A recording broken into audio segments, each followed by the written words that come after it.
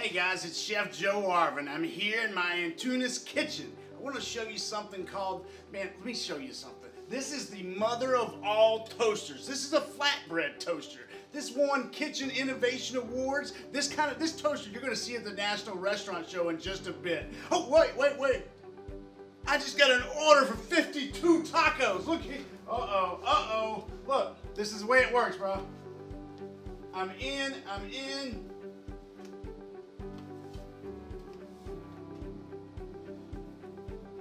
Tacos, tacos, you want tacos? I got tacos. I got small tacos, I got big tacos, I got any taco you want. Dropping out the tacos just like that. What? A flatbread, you say? Of course I can do a flatbread. Are you kidding me? Watch here. I'm gonna lay down the flatbread, and we're gonna go make some tacos now.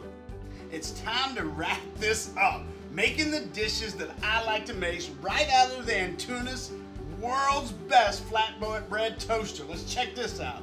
Man, I made some of this succulent barbacoa pork that I'm gonna make these little mini tacos with. We got a pineapple uh, salsa reduction in there. We're gonna add a little bit of uh, avocado onto these, a little bit of tomato, tomato, however you want to say it. That's up to you. Some cilantro. There's your mini tacos for the day. Oh, a flatbread, remember? I got flatbread. Look at this prosciutto. Look at this prosciutto. Prosciutto, baby. We're gonna do a little feta. Break a little feta here.